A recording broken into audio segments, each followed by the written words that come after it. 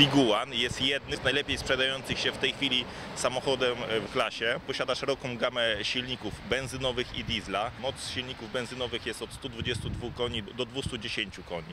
E, Można go zamówić e, z manualną, jak i z automatyczną skrzynią biegów. Silnik diesla występuje od mocy st- 110 koni do 170, też w połączeniu z manualną i automatyczną skrzynią biegów. Obie wersje silnikowe, benzynowe i diesla można zamówić też z napędem na cztery koła.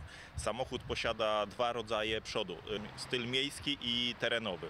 Sa- Samochód z przodem do jazdy terenowej ma większy kąt natarcia 28 stopni. Przy stylu miejskim mamy kąt natarcia 18 stopni. Samochód posiada bardzo dużo systemów bezpieczeństwa. Pierwszy SUV w swojej klasie jest wyposażony w system zmęczenia wykrywania kierowcy. Kierowca, gdy wsiądzie do samochodu na początku inaczej reaguje na pedał gazu, pedał hamulca, na ruchy na kierownicą. W pewnym czasie kierowca inaczej reaguje na pedał gazu, pedał hamulca, na kierownicę. Wtedy się zapala lampka z kawą na komputerze, daje sygnał dźwiękowy przez 15 minut, żeby kierowca się zatrzymał na postój, tak zwaną kawę, na przerwę. Posiada e, system wspomagania jazdy terenowej. System posiada Park Assist, czyli ułatwia nam parkowanie dla każdego, ułatwia parkowanie w mieście, e, gdzie jest bardzo dużo korków. Bardzo sprytnie i szybko parkuje w kopertę. E, Potrzeba 80 cm więcej. Samochód zaparkuje za pierwszym razem. Parkuje też prostopadle. Potrzebuje, żeby zaparkować o 50 cm więcej między dwa samochody. Bardzo bogata też jest oferta w tym samochodzie radia, systemów nawigacyjnych, e, opcji dodatkowych, dachu szklanego, czy na przykład